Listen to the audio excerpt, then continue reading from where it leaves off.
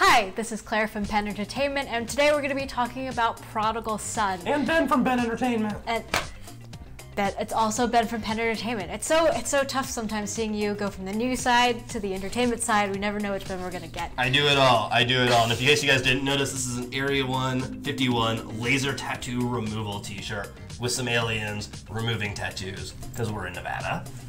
That was really important for him to say. Uh, but today we're talking about Prodigal Son and the new episode, and I think that I mean, it's been getting a lot of really, really good reviews. Um, every show, I think that they're they've they've started to really amass uh, a good following, especially for a new show with so many other possibilities to watch. Mm-hmm. Um, but I it's would, solid. It's solid. What it's you, a solid start. What did you think about the most recent episode? So, on the most recent episode, I it didn't have as much crime as before. It was kind of it was definitely more of a character development yeah. episode. I felt like so it, it was good. Yeah.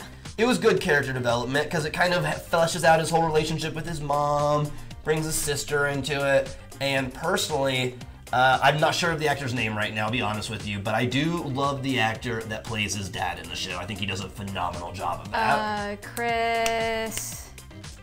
I'm trying to remember his Chris Sheen. That's his name. Is he one of the Sheens?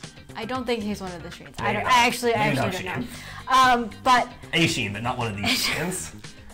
And we know no. Okay, let's not. Anyways, no more Anyways, uh, so I think that actually leads me to some of the some of the things I find that uh, Prodigal Son hasn't quite mastered yet. It's just where you get when you get these like intense serial killer procedural kind of shows. Uh, there's always a balance between whether the focus is on the case or on the character development and the like a bigger plot line, right?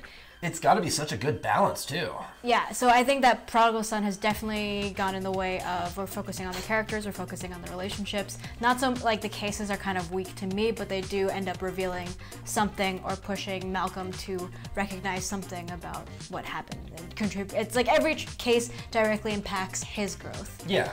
Um, but I don't think that we're seeing a ton of no, there's I not. There's, I don't know. There's. It doesn't like develop the like the villain characters enough. It's like or like the subplots. You don't. Yeah. You don't really feel like you're watching as much of a murder show as you are watching the show of someone struggling with the possibility of being a serial killer. Right. So it's a so you I think Prodigal Son has either yet to figure that out or they're definitely going the character route and people I think have to keep an open mind about that yeah, because people think, like kind of like solving mysteries and stuff yeah. when they watch shows and you can't really do that as much as Prodigal. Yeah, I don't I don't think that they have like I don't think that their in case mysteries are that great. I think that their outside like overarching plot has better mysteries. Uh, like for example, the big reveal from this episode is uh, that it was Mr. Johnson, and he was using the money bag and dressing up as a ghost to try to scare people into those meddling kids. Uh, you're thinking about the wrong show, but uh, was the reveal that Jessica, uh, Malcolm's mom, didn't know about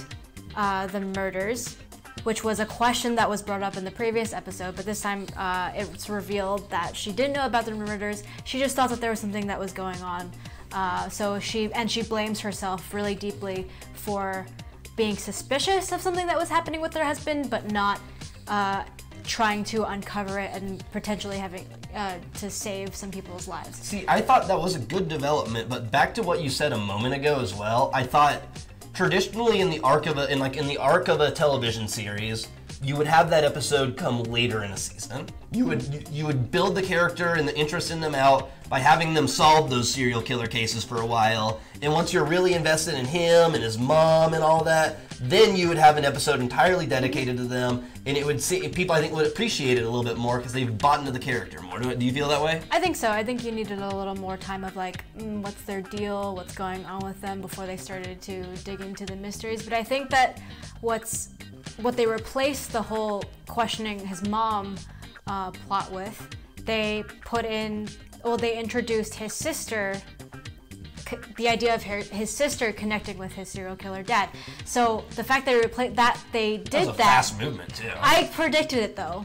I oh, actually, yeah. I actually from episode one, I was like, it would be really great if you could see Ainsley, who has had like who doesn't even remember her dad, be the one to now connect with Daddy serial killer, and then God, uh, if you can only predict the lottery numbers, we'd be rich. that, this is true. But having, but thinking that she would be the one who seeks him out, and then maybe becomes perhaps dad's new protege or something. You always knew that like bad things were gonna happen to her because she was the untra- the less traumatized, more She was like a well-adjusted one. baby when he was a serial Yeah, killer, right? yeah. So, um, so I'm really glad that they replaced that really big plot point of his mom with the with his sister. I thought that was a good, and they and they do really keep with that out. theme of like family, of kind of dysfunctional. 'Cause Let's put the fun in important. dysfunctional family.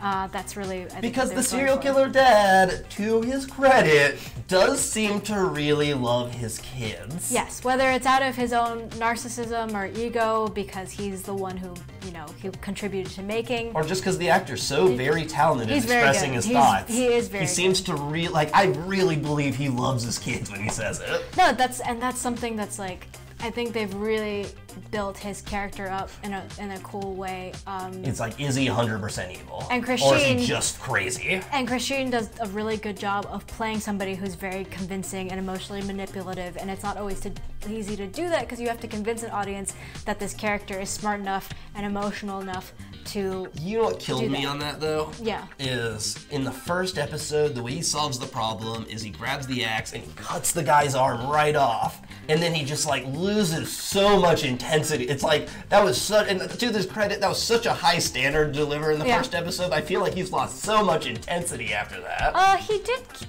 He did almost kill someone. Almost. in uh, one of the more recent episodes. So I so uh, there's still that kind of manic uh, and just teetering on the edge of a psychotic break aspect to Malcolm for sure. Uh, he definitely was. But it was like the quick thinking solution because if the guy's arm hadn't gotten cut off, he would have died. Yes. Like that was clear, and I kind of liked how it was like because he's manic, he was able to solve this problem when other people probably either would have died with the guy or would have left the guy. Yeah, but that's why that's why I questioned their balance between um, what's it called? I mean the Character development character development, subchar- and, subplot so I. I think it's very important for them to figure out that balance. But so far, the characters are really compelling. I, I Yeah. give a huge hats off to uh, the actress who plays uh, Malcolm's mom.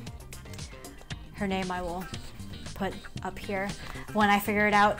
Uh, she has really just been, I think, a really standout actress for this one. I think that she's like conveys that I'm a wealthy socialite who expects things out of my life versus like I'm a loving, doting mother who is extremely protective of my kids. So I think she. She's definitely a bit of a drama queen, but she's also, Drama queen. but she has her priorities straight. So I think that, uh, I think that's uh, she's she's done a really good job of portraying that character. Uh, anything, I mean, I just yeah. At the end of the day, I just want their plot, Yeah. like their their in episode plots. you want you want to solve a mystery. plots. I, yeah, I want You the want to like you want to watch the show and as you're going be like, I wonder who the murderer is. Can I figure this out before it's over? So actually, what was cool about the first episode is that they did like sort of a uh, like a like a puzzle on Twitter that you had to solve by solving like some clues and stuff, and like then you got this answer and whatever.